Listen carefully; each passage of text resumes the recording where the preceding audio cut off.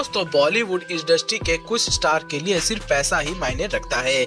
कई बार स्टारों ने यह साबित भी किया है। आज हम आपको कुछ ऐसे स्टारों के बारे में बताएँगे जिन्होंने पैसों के लिए अपने से कई साल बड़े आदमी से शादी कर ली। श्री देवी श्री देवी ने खुद से आठ साल बड़े आदमी बोनी कपूर से शादी की थी। दोनों की जोड़ी लोगों को बहुत अटपटी लगती थी। लेकिन सूत्रों की माने तो श्री देवी की खूबसूरती ने बोनी कपूर को उनका दीवाना बना दिया था। वहीं श्री देवी भी उनको अपना दिल दे बैठी थी, जिसके बाद साल उन्नीस सौ छियानवे में दोनों ने शादी कर ली।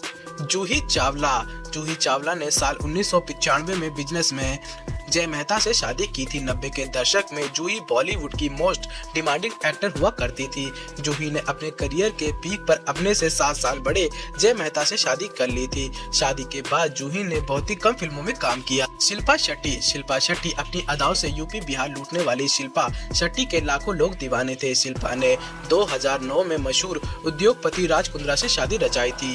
वो की माने तो शिल्पा ने राज कुंद्रा से शादी इसलिए की क्योंकि वो बहुत अमीर थे। एक ब्रिटेन मैगजीन के अनुसार राज कुंद्रा का नाम अमीर आदमियों की लिस्ट में एक सौ अठानवे स्थान पर है। तो दोस्तों, ये हैं कुछ ऐसे सितारे जिन्होंने पैसों के लिए अपने से बड़े उम्र वाले व्यक्ति से शादी कर ली। तो दोस्तों, आपको जानकारी कैसी लगी? अपनी राय हमें कमेंट बॉक्स में कमेंट करके ज़रूर बताएँ। एंड तक हमारी वीडियो देखने के लिए आप सभी का धन्यवाद।